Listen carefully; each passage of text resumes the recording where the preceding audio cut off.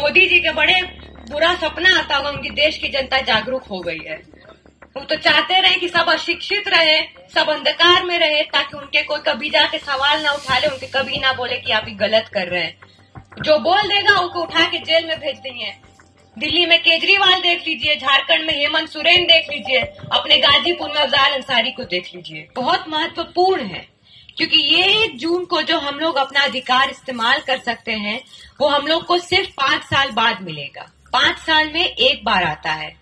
कोई बता पाएगा एक जून को क्या होना है? वोट पड़ना है। मतदान होना है। तो मतदान, मत डाल पाना, मतदान कर पाना, ये एक लोकतंत्र की शक्ति है। ये लोकतंत्र की रीढ़ की हड्डी है। और ये भाजपा सरकार जो है वो इसी रीढ़ की हड्डी को तोड़ना चाहती है। हमारे संविधान को खत्म करना चाहती है। ये आप लोग से तो छुपा नहीं है कि 10 साल में हमारे देश में कितनी गरीबी रही है कितना भ्रष्टाचार है कितनी बेरोजगारी है। अब आप लोग हाथ खड़ा करके बताइए कि कौन कौन महँगाई से परेशान है। दस साल में कौन कौन महँगाई से परेशान सब परेशान है? ठीक है। और कौन कौन बेरोजगारी से परेशान है? हाथ खड़ा करके बोलिए लोग। सभी लोग परेशान हैं। अरे तो भाई कोई दस साल में खुश रहा है? कोई नहीं खुश रहा है। अडानी अंबानी। अडानी अंबानी हम इसी पे आना चाह रहे थे। मोदी जी का कहना था सबका साथ सबका विकास। यही नारा था ना उनका? हाँ उस सबका साथ सबका विकास नहीं किए हैं। वो केवल कुछ पूंजीपतियों का साथ पूंजीपतियों का विकास किए हैं। जो सामंतवादी सोच रखने वाले हैं, उनका साथ उनका विकास किए हैं। जो सांप्रदायिक ताकतें हैं, उनका साथ उनका विकास किए हैं। तो जब ये सरकार सबका साथ नहीं दे सकती तो क्या इस सरकार को सत्ता में रहना चाहिए? नहीं रहना चाहिए ना। तो उसको कैसे हटाएँगे सत्ता से? बताइए तनी आप लोग। वोट से ना। तो बस एक जून को हम सबको साइकिल का बटन दबाना है। इंडिया गठबंधन के बारे में पता है आप लोग को? पता है ना? चलिए, अच्छी बात है। बड़े जागरूक लोग हैं। मोदी जी के बड़े बुरा सपना आता होगा, उनकी देश की जनता जागरूक हो गई है। वो तो चाहते रहे कि सब अशिक्षित रहे, सब अंधकार में रहे, ताकि उनके कोई कभी जाके सवाल ना उठा ले, उनके कभी ना बोले कि आप ये गलत कर रहे हैं। जो बोल देगा, उनको उठा के जेल में भेज देंगे। दिल्ली में केजरीवाल देख लीजिए, झारखंड में हेमंत सोरेन देख लीजिए, अपने गाजीपुर में अफजाल अंसारी को देख लीजिए। तो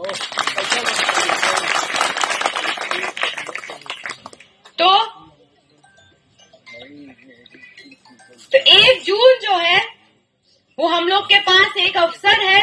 इस भाजपा सरकार को, इस तानाशाही सरकार को हम लोग सत्ता से हटा दें।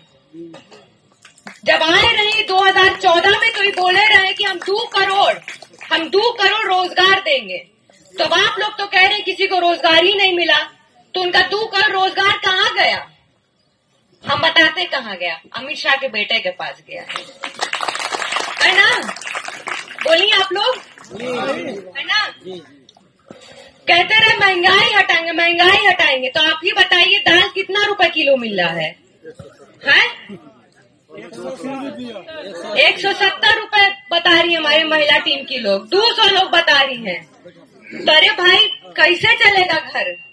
इस सरकार रही सत्ता में तो कैसे चलेगा घर हम लोग का? माँ बाप अपने बच्चों को रात दिन पढ़ा लिखा करके बड़ा करते हैं।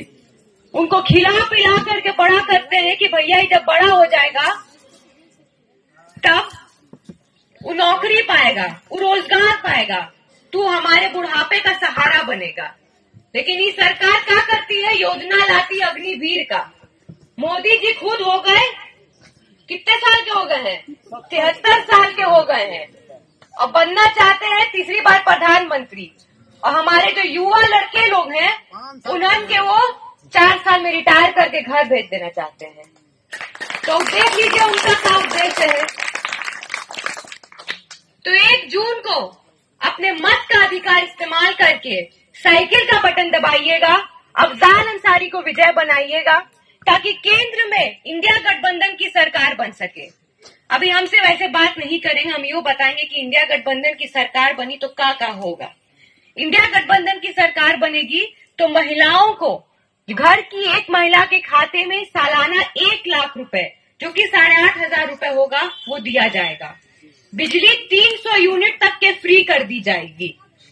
किसानों का कर्ज माफ़ होगा, उनको पेंशन मिलेगा। और तो और जो किसान से संबंधित वस्तुएँ हैं या चीज़ें हैं, जैसे जैसे बिया हो गया, खाद हो गया, उस सब पे जो टैक्स लगाए मोदी जी मोदी जी ना जीएसटी को अपनी उपलब्धि बताते हैं। इना जानते हैं कि उनकी उपलब्धि जो है हर एक गरीब के पेट पे लात बन के मारती है।